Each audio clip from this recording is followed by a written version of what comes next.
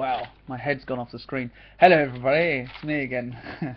um, I just recorded quite, well, I recorded a video. I thought it was quite good, but it got eaten by YouTube because apparently it was too long. It must have meant it was really bloody good and they decided to take it down because, you know, 25 minutes of me going on and on and on about uh, ENFJs and INFPs in relationships must have been pretty tedious. Anyway, um, firstly, I'd like to remind everybody that I am no expert at MBTI. This is all kind of, you know, I, I just think about it quite a lot. I think it's quite useful. I enjoy thinking about it and I enjoy your feedback because obviously I don't want to be sitting here telling everybody that I'm some sort of, you know, MBTI master when all I've done is thought about it for a few months. Um, so what I'm going to do is I'm going to split this video into two parts. It's a, actually about, uh, last video I did was about ENFJs and bottled up thoughts. This is to do with, and I promised really a video to do with how ENFJs and INFPs can really work well together in relationships and so this is what my what this new video is about. So I'm going to start by talking about what makes INFPs and ENFJs healthy in relationships rather than going on to the unhealthy part, which is what I did before and made it too long. Right, so um, basically, uh, healthy ENFJs and INFPs in relationships, I believe, work really well because of a few different things. Now, you've probably heard of the typical kind of like idea that INFPs and ENFJs look at each other, they talk to each other, and they're like a mirror. Well, that doesn't really get us anywhere apart from telling us that they have opposite functions in the same order. It just tells us that it kind of feels like a mirror. Well, we want to kind of go a bit deeper than that, but also I want to try to explain why it's quite simple as to why it's so effective and why it really works um, or why it could work, how it could work. Um, so the first point is that ENFJs and INFPs value uh, feelings over thinking, which is they prefer it over thinking because that's how they're stacked. So even though the ENFJ's first function is uh, FE, the first function of the INFP is FI. So they have the ENFJ has extroverted feeling, the INFP has introverted feeling. Um, so they value feelings quite strong. You know, both of them value feelings very strongly, which is quite a nice feeling when you're actually managing to talk to somebody who, you know, when you meet somebody who values feelings that strongly as an ENFJ or an INFP, I'm guessing, um, they feel like the other party actually cares and therefore you know because obviously feeling functions you feel like the other person actually cares which is quite a nice feeling. So you get that feeling to start with. Um, but what I've found is that basically because introverted feeling is introverted by nature it doesn't talk about itself.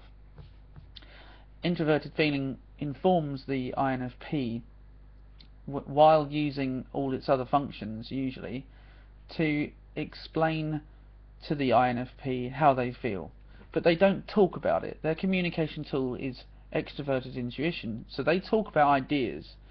But what the ENFJ should be good at if they have well functioning good functioning introverted intuition is that they can pick out of the INFP's head um, how they feel.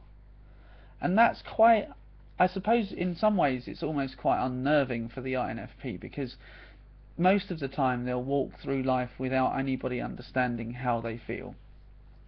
And they'll walk through life thinking that nobody really completely gets them. Not everybody feels that way but uh, some people a lot of INFPs I feel probably do feel like nobody really understands how they're feeling. And when somebody actually says to them you're feeling this because of this and I can feel it because I can feel your feelings and I can feel those because I have introverted intuition and explains to the INFP how they feel. It almost feels like they're being uh, pared down. They feel like they're almost naked, I suppose.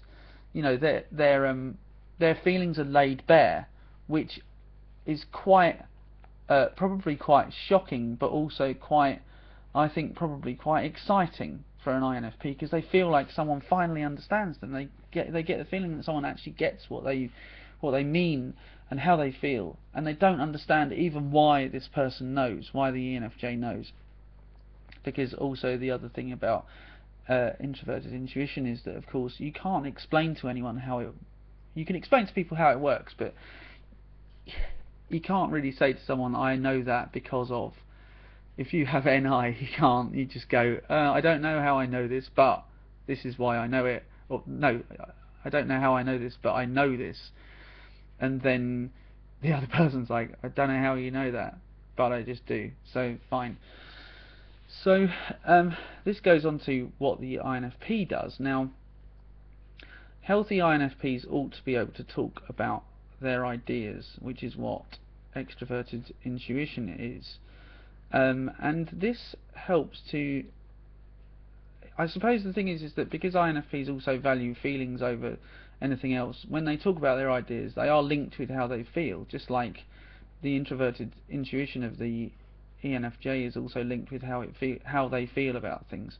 So um, the the extroverted intuition uh, extroverted intuition which the INFP is using to express their their ideas is also linked to how they feel, which I suppose is what what the introverted intuition is picking up on.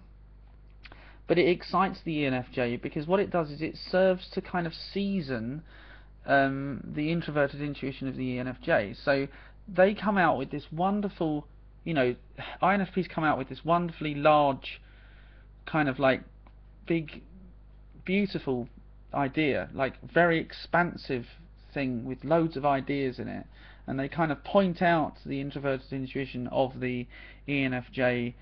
Uh, all these new possibilities, and that's quite exciting. ENFJs like that, you know, they they kind of hear all these ideas and then they're able to internally crunch them up with their thinking and their intuition, which kind of gives, which also in turn then feeds back in the other end.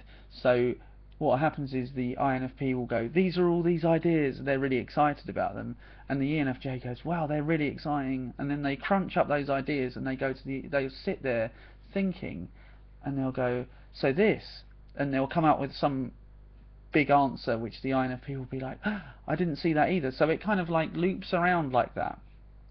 Um, now, what this what happens is is that um, they bring each other's introverted functions out. That's why that's how it works. In fact, all of the functions bring each other out. So, for example, the FE which is a kind of accepting, loving function which is there to understand. It feels the other person's feelings as their own, so it it's an accepting function, uh, and that's quite quite uh, important for an INFP because FI can sometimes be um, quite you know feelings are personal to INFPs. So if you burst them and break them, INFPs can be upset about that. So uh, the fact that extroverted feeling is accepting of of things is useful for FI, introverted feeling, because they feel like they're accepted, which is quite important, I think, for INFPs.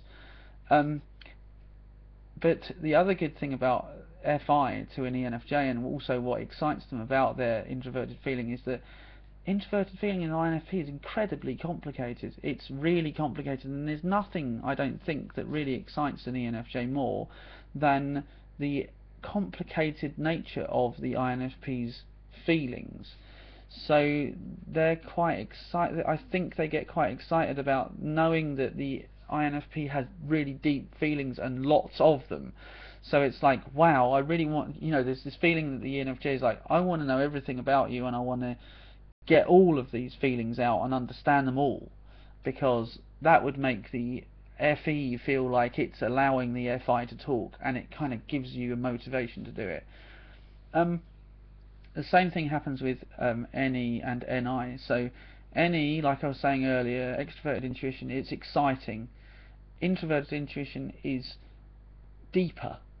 So extroverted intuition provides the ideas. Introverted intuition kind of provides the answers.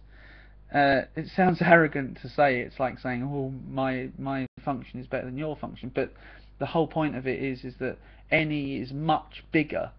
It is much larger than NI, so it's valuable in itself because it is providing all of the information or more of the information at the start, and NI is providing only some of the answers to some of those questions in a in an interesting way to the INFP. So that also excites the INFP because they feel like they're getting answers for their for these big intuitive structures that they may have built. Um, just like it's exciting for the ENFJ to have all of the kind of big uh, ideas. Um, then we come on to the sensing and the thinking, which are like less important to both of these types, but still I think click with each other. And you can see how the FI and the FE kind of pull each other out of each other, just like the NI and the NE pull each other out of each other and kind of inform the other one of the thing that's interesting. SE, extroverted sensing, is much more in the now. Uh, introverted sensing is more, I would describe it as sentimental. If you have a healthy INFP, they have sentimental feelings to do with their past, which is SI. And it helps an INFP to have an SE user because even though it's kind of underneath our other functions, it's still there to serve to bring the the INFP into the now. And it's also quite nice to be able to kind of like be informed of you know, the INFP will probably be able to remember things that the ENFJ said that are nice for years later. Like, if they're healthy people, they can still remember these wonderful things that the ENFJ said to them that nobody else has ever said to them. And sometimes they'll mention it to the ENFJ, and the ENFJ will feel like, I've really made your life better. It, it feels rewarding to know that you weren't lost and forgotten when you express a kind thought to the SI user and they later come up with this thing of saying when you said this 10 years ago I felt that and I still feel that now. It's nice for the SE user to feel that. So those are both functions which again pull each other apart and inform each other. And then the last function obviously extroverted thinking and introverted thinking. Now this is where it gets a bit, obviously these are both weaker functions and we're more embarrassed of, of our TI and TE as INFPs and ENFJs. Um, but TE, extroverted thinking, well-developed extroverted thinking is really motivational. So like, where the ENFJ may get stuck in, in thoughts too much um, with NI and TI, the extroverted thinker will be going, will be like, this is what you need to achieve, this is where you need to get to, um, and this is how to do it. Uh, it kind of mimics, in a way, I think, um, a judging function. So, you know, the ENFJ is also good at completing things, whereas the INFP with perceiving is not always as good as doing at doing that. But if you can harness the power of both TI and TE as these two types, you will have a, a whole strong person. So they're, they're both useful functions, and I think INFPs who have good NE and TE are really much better at being able to motivate themselves and move forward themselves because they have functions which they can both communicate with and get things done with. So it kind of makes it it makes them more able to move to a to a goal uh, as an INFP. Um, and again, TI is good for explaining uh, and informing about extra details which maybe the INFP may have missed. So, um, but I do feel like these functions are much more like the functions that we don't really we don't really use as much. I mean, obviously, when I've written this list out, I'm using my introverted intuition and my introverted thinking. So um, with developed functions of these types, I feel that it really helps. So those are the reasons why I think these two types can really work well together. And I'd like to know what you think. And before I get to 15 minutes, I'm going to stop.